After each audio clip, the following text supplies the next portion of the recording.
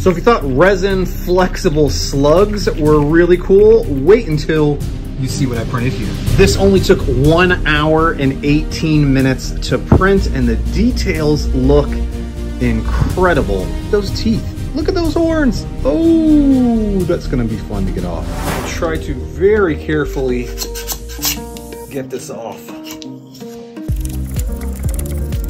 Look how amazing this is.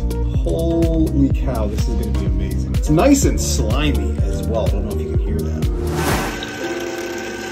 Our little air fried dragon is now complete. Still all wet, but really cool to see in action and look at the crazy details on those scales and the hands and those teeth and that face. Oh my goodness. Gotcha.